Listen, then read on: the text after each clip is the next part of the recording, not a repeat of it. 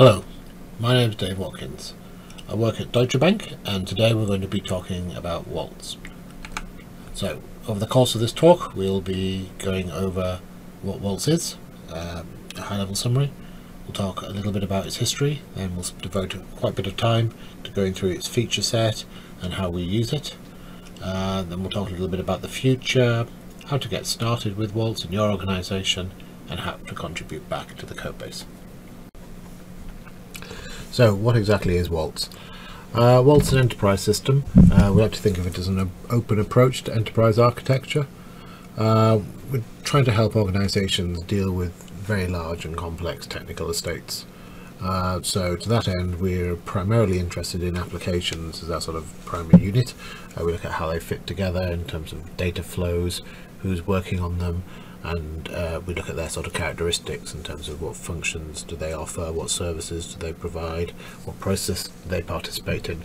Uh, we look at how they applications are entwined within regulations and uh, compliance issues and ultimately how the organization is changing as applications are commissioned and decommissioned and functions are moved around the, the organization. Um, we've got a wide set of users, uh, from developers, project managers, analysts. Um, we've got about 15,000 active users in the bank, uh, and we're seeing about 2,500 user-driven changes per month. So that's people coming into Waltz and amending the data in there uh, to correct it or to keep it up to date. Waltz is now around six years old. Started as a purely open source project upon GitHub, so all of the commits are available going back to project inception. And it was started before I joined the bank. However Deutsche Bank were a very early adopter and have since become by far the largest single contributor to the codebase. Over that time uh, there's been probably around three to four developers at any one time working on Waltz plus an analyst or two uh, which has added up to quite a bit of effort over the years. And the project earlier this year transitioned to the Finos organization so we went through their project activation uh, criteria ensuring that we've got uh, clean IP um, and our code meets their standards. Uh, we've been in production for four years uh, Deutsche Bank and NatWest Markets have been in for a couple of years. Now I'm going to talk a little bit about uh, the Waltz in detail. So we'll look at its feature set, the core entities and how those entities and features are used together. Um, this will take the form of a demo um, which will be covering the following topics. Uh, we're going to look at the building blocks, so applications or units for example. We'll look at how data flows are modelled in Waltz, um, look at some of the aggregation capabilities and some of the reporting that's built in. Uh, we'll look at surveys, uh, for capturing ad hoc data requests and looking at attestations for ensuring that data is up to date.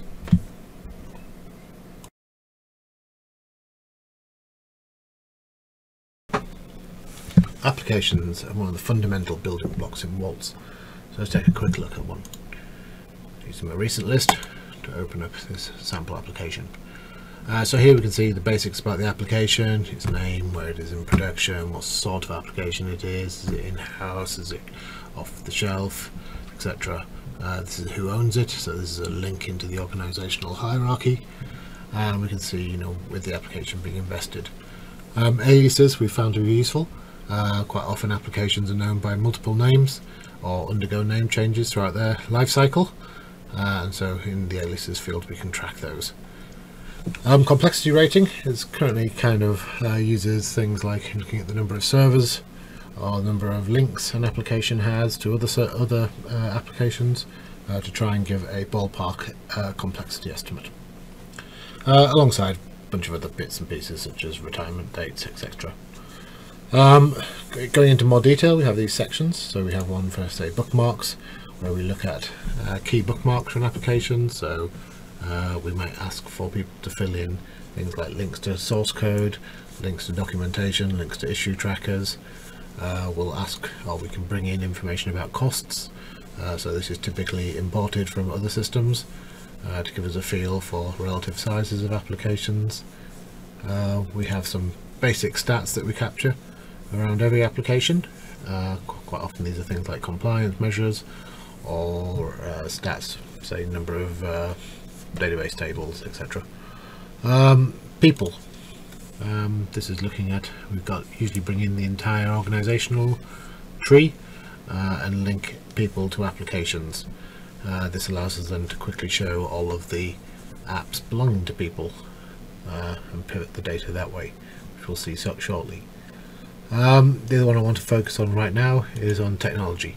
Uh, so here we can sort of see, okay, these are brought in, it's a list of servers associated with the applications or databases or software. For instance, we've linked our instance of Waltz to Artifactory to bring in a detailed software breakdown for each application and from there we can work out licenses and things like vulnerabilities uh, in terms of risk uh, for license risk uh, looking at incompatible licenses for example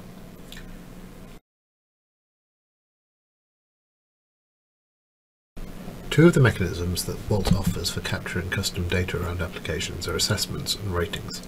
Assessments are kind of like a single data point about an application. So we have assessment definitions for things like records management, legal holds, uh, compliance with various policies, etc. They're stored here uh, and users can either input them directly into the application or they can be provided programmatically and marked as read-only. In addition to assessments, Waltz supports aligning applications to taxonomies via the ratings mechanism. So in here we've got ratings for an application, in this case it's just aligned against one of the taxonomies in Waltz, the functional taxonomy, and we can see here that three items have been uh, chosen. So it's got positions, risk and reporting. Uh, the little icons next to them indicate things like this function is being retired from this application at a certain date. Uh, the handover icon implies that this application is taking on board this function from another application and the little pointer says that this application is handing off this function somewhere else. Uh, so I can see from here, just at a glance, that this application is really consolidating around the risk function. Uh, the little pie charts indicate that there are allocations associated with this application.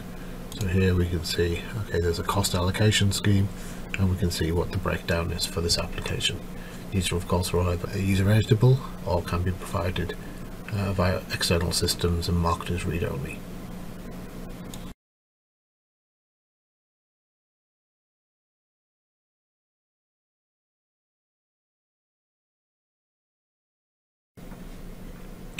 Another key aspect of Waltz is looking at data and data flows within an organization. To that end, we have a data taxonomy, uh, which you may declare, which is registers all the data types. Uh, here's a sample one that we've generated for the test data. Uh, and we can also declare uh, which systems are authoritative for those data types. So this table here shows, okay, for this data type, for this part of the organization, then this is either an authoritative or a secondary source of data for that uh, for that data type. Uh, if we look at how that looks in practice at an application level, let's go and take another look at the application we are looking at earlier and look at the data flow section. So here we can see a breakdown of various aspects of the data flows that we have for this application, but the main bit concerned with is this diagram at the bottom. Uh, this shows fairly clearly the upstream systems, the downstream systems, and our system in the middle, Fox Terrier. It's broken down by the data types that it consumes or produces, and we can see okay these systems are feeding it. These it's sending out to the system. These little annotations here are just showing you whether or not we have examples of the types of data that's being fed. So whether people have documented the actual flow specifications. Um, if we take a closer look at these then we can see okay here's the file and in this one there should be more than one file because the icon's slightly different uh, just indicating that there are multiple files there. Uh, the colours on these lines go back to those authoritative sources we talked about a few minutes ago. So American Foxhound, for example, has been uh, identified as an authoritative source for transaction data, hence this arc is in green. Um, whereas uh, whereas uh, these applications, say for transaction data, there may there is an authoritative source, uh, but it isn't Tiffany, um, which is why it be red. Uh, where the line is black, that's just indicating that no authoritative statement covers this type of data for this part of the bank or part of the organisation. Um, we can fo focus in on these, especially useful when the diagrams get more complex, and uh, we can add new ones fairly simply uh, although it's a mixture at the moment of these things being registered by hand and registered programmatically from other sources. Um, we also have this other annotation here which shows a pending change. Uh, so this is something that's fairly new. Uh, if we look at the change sets coming into this application we can see that there's one change set associated with it uh, and it's got in, in, particular a bunch of uh, flow changes which are potentially affecting this application. So here we can see one that there is a retirement of this uh, report pending uh, as part of this change, which can optionally be linked to a, uh, a change initiative declaration. If we go back to our application, we can start looking at the flows in more detail, taking more of a lineage view. So this has given us very much a sort of point to point or neighbours kind of view, you know, upstream and downstream neighbours, uh, but we may want to show more of a lineage type view. Uh, to that end we have the diagram section and you can create diagrams in Waltz quite quickly using a kind of constrained uh, editor. So this is one I just drew earlier, started at Fox Terrier and worked backwards through the systems showing you which data is being fed by which systems. So this is just showing you the upstream systems uh, and these little uh, things in the circle is just where we have documentation for the actual flows that are being passed. The question marks when we don't. And you can add basic annotations onto the diagram. Changing the diagram is quite simple. If we wanted to add a new system, it then goes and queries the uh, the flow information that we have in Waltz and just shows you uh, only the possible upstream systems. So we can say, okay, I want to show these three systems and go through and again using the constraints we can say okay I want to show just those two flows. Once this is saved uh, this diagram will be cross-referenced against every system that is mentioned within it so I think we just included Wombat so we go and have a look at Wombat we can see it is now being cross-referenced on that diagram. Uh, effectively we're storing a kind of bill of materials uh, behind each diagram so that we can do that cross-referencing quickly and that goes down to every part of the diagram so every flow that's mentioned on there, every file uh, will be uh, indexed and cross-referenced to this diagram.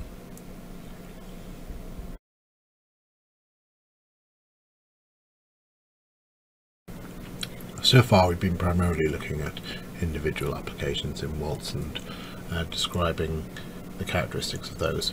Waltz can also uh, be used to aggregate applications either by sort of intrinsic uh, aggregation groups uh, such as org units, people or via sort of user-defined uh, mechanisms such as uh, ad hoc application groups.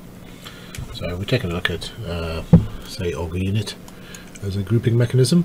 So we look at one of the org units, so it's the IO office. And we can see it's got 24 applications in this group in sample data. Uh, we can see you know the applications that make this up, uh, the costs, complexity, etc. Uh, any indicators that are there, uh, which are the we use extensively in the bank for sort of KPIs, KRIs. Um, this lets us sort of quickly view how well we're doing across these measures but also jump off to get more detail about you know what actually makes up those numbers and also to do quick comparisons so we can compare across parts of the bank quite quickly by using this little uh, mini navigation selector here. Um, going back to this list here we can see we've also got things such as attestations so uh, in this case we've got no attestations but we can schedule attestation runs for different types of data so far uh, in Waltz we've got attestation support for flows, physical flows and for um, uh, the taxonomy ratings. We uh, can have bookmarks, link to change initiatives. Data flows is where we start seeing the data in aggregate here. So we've got a force directed graph, uh, obviously due to the sample data nature. Um, it looks a bit of a mess, uh, but we can do things like filter it out according to data type um, or show only inbound flows um, or outbound flows. Uh, obviously the full data is available as well should you wish to export it. Um, the ratings section is quite useful. Uh, the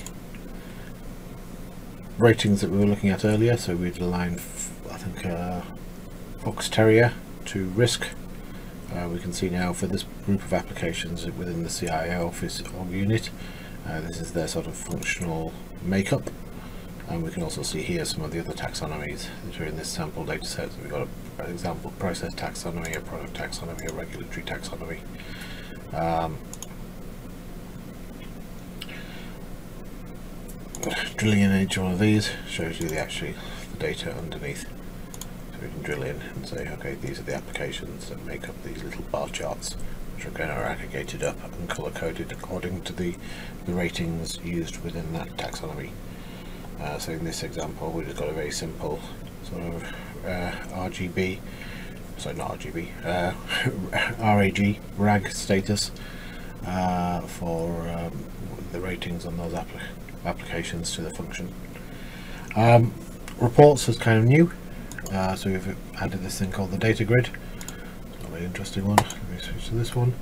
This is to support uh, some of the cloud readiness thing that we're, we're doing in the bank at the moment.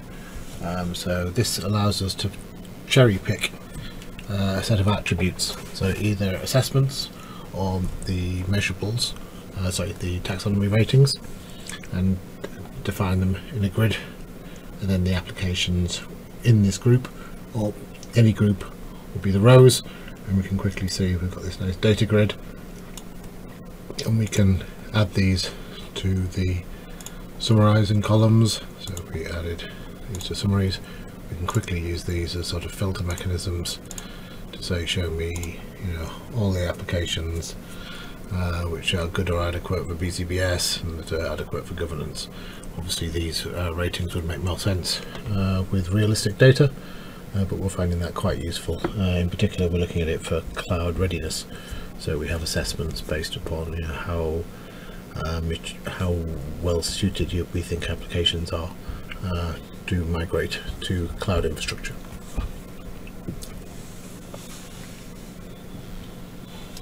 Other types of um, aggregation uh, are things like people. You can see here we've got a person. Uh, we can see that they've got a very similar set of views. They've got uh, costs and things. We've got the same ratings type of view. We've got the same reports which are dynamically generated just for that person and the applications that they are involved with. Uh, we can do the same for the functions or any of the taxonomy items. So looking at risk the function, uh, we can see you know the same sort of thing. We've got the applications the data flows uh, we've got the the ratings and reports etc um, we can also define custom app groups.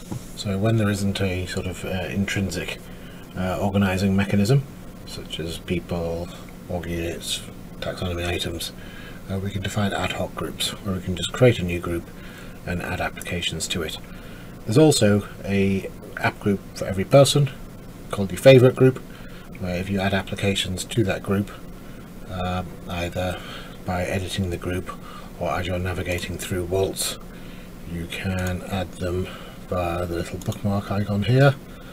Uh, then it gets added to your favorite group and then any time that application or any of the apps in this group change in terms of you know the, their records in Waltz get updated, so new flows, new functions, uh, new bookmarks, uh, then this calendar chart will be filled in, uh, letting you know that there's been some changes to apps that you're possibly interested in, and you can drill in and say hey, what's actually happened. so here I can drill in and see okay for this application on this day uh, you know there's a flow added remove data from application modify the application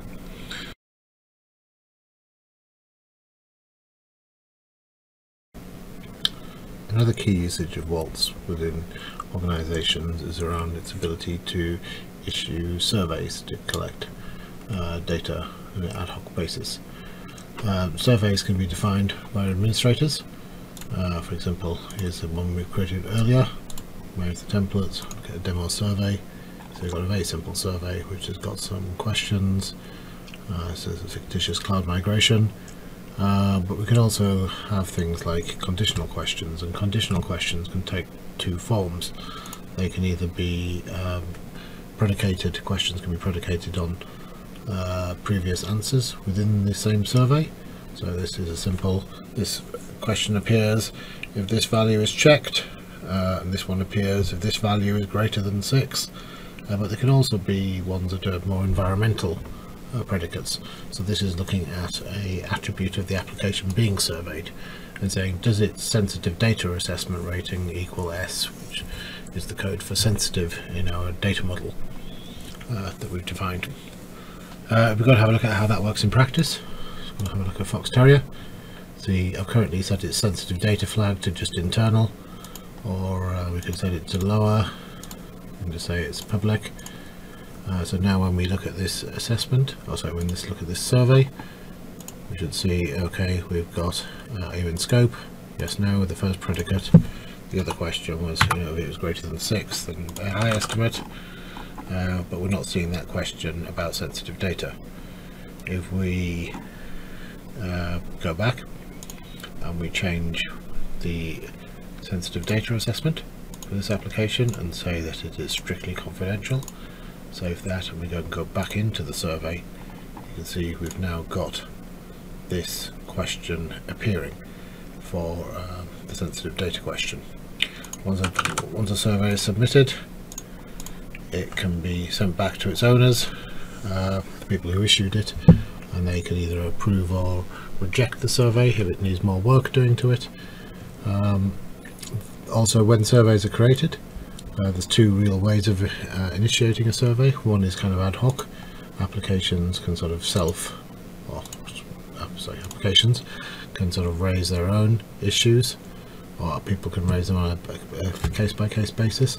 Uh, the other way of raising surveys is you can create a survey run um, where we go into the template we can say okay I want to create a run and here we say what we're actually doing is we want to issue this survey to a set of applications or change initiatives uh, which meet certain criteria. So give it a run name uh, some contact details but here is the, the key bit. We can say okay send it to everyone in this app group send it to everyone in this org unit send it to applications that do this taxonomy item. The exact is whether or not uh, you want to send it to children of this org unit as well. So say we just sent it to uh, the risk department, we might want all of the uh, the sub departments to also fill this in. That in. A, uh, risk IT that would include all the other IT, the risk departments. Uh, then it's a question of who is going to be filling this in. This is again where we start reaching into the Waltz data model and say, okay, we now know from this selector uh, which applications are involved, so everything to do with risk, everything associated with risk IT, the org unit, uh, and now what we want to do is we want it to be the data owner, the architect, the IT architect, and the IT lead. And we can then say, okay, who, how do we want this to be filled in? Is it um, for a group, as in anyone can fill it in, or is this an individual, everyone has to fill it in? Uh, once we've filled in the rest of the data, then we should be able to issue that survey. Oh, and we haven't managed to catch in my sample data anyone who uh, is oops is there. We issue the survey and now that survey run has been generated. We can create an email if we wish to uh, but we can also now see we've got a new run uh, where we can see that there are seven uh, surveys outstanding. Now you may have noticed that there was a lot more people listed there. It's because I ended up selecting everyone and the group nature of the survey means there was only actually seven surveys issued but more people had been invited to participate. Um, yes, surveys have proven to be quite popular. Uh, we use them a lot around sort of some of the governance metrics, oh, sorry, the governance processes, uh, so funding processes, uh, and also some of the records management type of uh, processes where we are doing uh, in-depth questionnaires for applications which meet certain criteria. Okay, that concludes the sort of demo part. Uh, we're now going to talk a little bit about, you know, um, futures, you know, where Waltz is heading, um, how to get started with Waltz, and how you can start making contributions, should you wish to. So, uh, one of the key challenges that we're facing uh, in the coming sort of months, years, is uh, the gradual shift of the unit of sort of deployment moving from sort of applications, sort of monolithic type applications, towards much smaller components, microservices, lambdas, etc. Uh, trying to figure out, you know, how do we document those? What is the correct unit of sort of measurement? What policies and procedures need to be in place? How can we aggregate them uh, so as not to uh, basically bombard the owners with lots and lots of documentation requests. Um, another key part is opening up Waltz, uh, the data set uh, via APIs, uh, something we've been asked to do quite a lot. We've done some of that internally within the bank, uh, so we'll be looking to how we can industrialize some of that and contribute that to the open source project.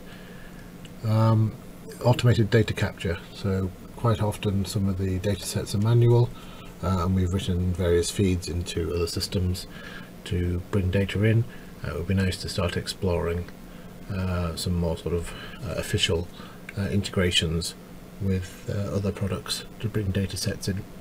Workflow support, we've seen some basic workflow around things like the surveys, um, however we're being asked increasingly to um, put workflow around various change sets within Waltz um, so that uh, data can be tracked and assigned to reviewers, etc.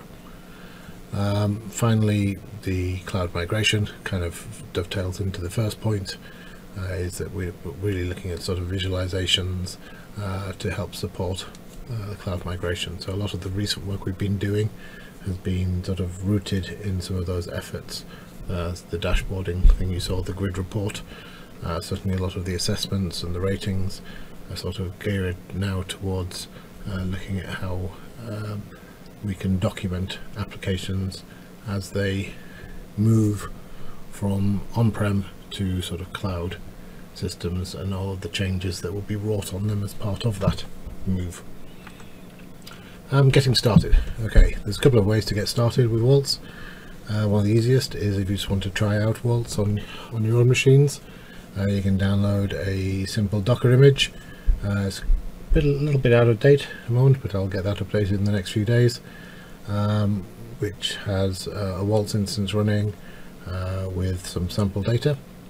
Uh, if you'd rather do a more of an installation process, it's quite simple to set up on a Tomcat container, or you can run it as a simple Uberjar. Um, database creation is pretty straightforward. We just use Liquibase. Um, and if you want sample data, there are some sample data generators available in the source code. Uh, it's all documented up on GitHub. Uh, look inside the docs folder. Uh, reach out if you need some help. Um, we support SQL Server, Postgres and MariaDB. Um, those are the, th the, main three that we support. Uh, let us know if there's anything you would like us to support. We can certainly investigate to see how hard it would be to, to add support for other databases relatively database agnostic. Um, finally, on getting started, it's worth pointing out we have a blog. Uh, the blog has a couple of articles on how to get started and quite a few screencasts, uh, basically aimed at both uh, users of Waltz, administrators and uh, developers. Uh, which brings us to contributing. So should you wish to make a contribution then you would be delighted. Um, reach out to us via the GitHub issues probably best or contact us directly. Uh, there's some good first issues that we've tagged in the GitHub issues uh, repository and again we'll be more than happy to help out. Uh, there's some getting started tutorials uh, on our GitHub uh, blog, sorry on our Finos blog and some screencasts to help you take your first steps in contributing to Waltz. Okay, that wraps everything up. Um, thanks very much for your time and we hope you've enjoyed the presentation um, and look forward to hearing from you. Thank you.